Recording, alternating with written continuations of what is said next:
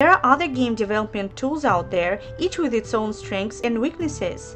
We can explore some of these options right now. Love2D a lightweight, open source game engine that's perfect for 2D game development. It even looks like RPG Maker. It is known for its simplicity and ease of use, making it a great option for indie developers. Love2D does require scripting though. It doesn't look too bad when you compare RPG Maker Eventing with Lua scripting though.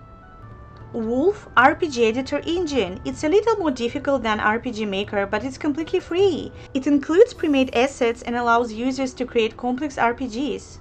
The official forum is in Japanese, which might be a downside for non-Japanese speakers. Another great free alternative is OHR RPG CE. RPG Architect, a nice tool for creating RPGs that allows for 2D design with 3D visualization, unlimited map layers, a battle system and more. RPG Paper Maker, a free game maker engine that creates 3D universe with 2D sprites, great if you want to make 2.5D style RPG games.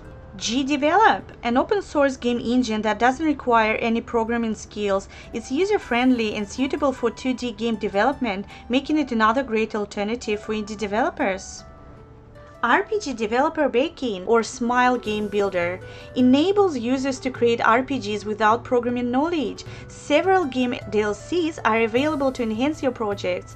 As you can see, you can create Minecraft-like 3D world with 2D character sprites and it looks gorgeous. It definitely looks like a next step of RPG making. Go Goat! Go Goat. Oh my gosh. This engine isn't as simple as RPG Maker and it requires some coding, but it's a fully featured open source game engine that is gaining popularity for its user-friendly interface and active community support. There are some great tutorials on how to make RPG Maker styled games in GoGoat on YouTube and the results look stunning. Unity and Unreal Engine, both engines allow you to create RPG games for free, but they require some coding knowledge. You might need to buy assets from other creators. Prepare to build a game from scratch, but the freedom of customization is impressive. This is a great example of an RPG game built in Unity. You can create amazing 2D games with Unreal Engine and this guy teaches you on how to do that. The results speak to themselves. As you can see, our list of alternatives is quite comprehensive. I will be happy to cover each engine in my next videos, so please comment which one you'd like to learn about first.